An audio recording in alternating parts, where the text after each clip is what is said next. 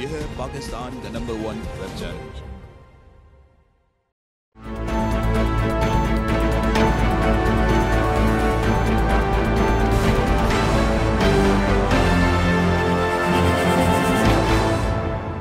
بسم اللہ الرحمن الرحیم۔ السلام علیکم۔ ویژن نیوز کی آج کی تازہ ترین ہیڈ لائنز کے ساتھ میں ہوں روج فاطمہ اور میرے ساتھ موجود ہیں کانتا امتیاز نظر ڈالتے ہیں آج کی تازہ ترین ہیڈ لائنز پر۔ لاہور کے علاقہ مومن پورہ میں ایک مکان کی وہ سیدھا چھت گرنے سے تین بچے جا بحق جبکہ ماں سمیت سات افراد زخمی ہو گئے۔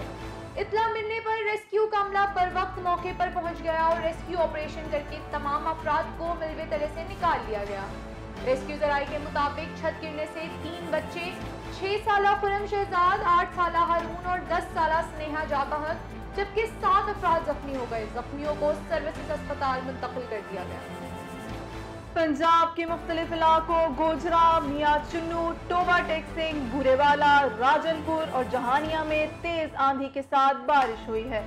بارش کے باعث موسم خوشگوار ہو گیا، تاہم بارش کے ساتھ ہی کئی فیڈر سٹرپ کر گئے، جس کی وجہ سے متعدد علاقوں میں بجلی کی فراہمی معطل ہو گئی ہے۔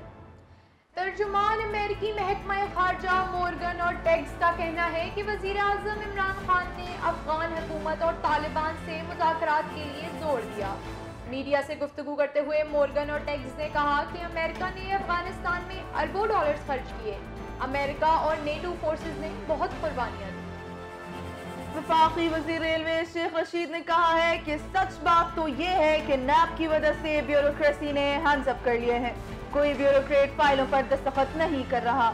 شیخ رشید کا مزید کہنا تھا کہ بیوروکریسی سے کام لینے کے لیے قانون سازی کی ضرورت ہے۔ وزیر اعلیٰ پنجاب کے ترجمان ڈاکٹر شہباز گل کا کہنا ہے کہ امید ہے آج کی احتجاجی ریلی سے اپوزیشن نے سبق سیکھا ہوگا۔ نون لیگ کو ریلی نکالنے یا جلسہ کرنے سے توبہ کر لینی چاہیے نواز اور شہباز کے سیاہ کارناموں نے انہیں پنجاب کے سیاسی منظرنامے سے آؤٹ کر دیا پاکستان پیپلز پارٹی کے چیئرمین بلاول بھٹو زرداری نے کہا ہے کہ ہم سلیکٹڈ اور جعلی حکومت کے خلاف علم بغاوت بلند کر رہے ہیں کٹ پتلی حکومت سلیکٹڈ اور سلیکٹڈ کے خلاف بغاوت کا اعلان کرتے ہیں۔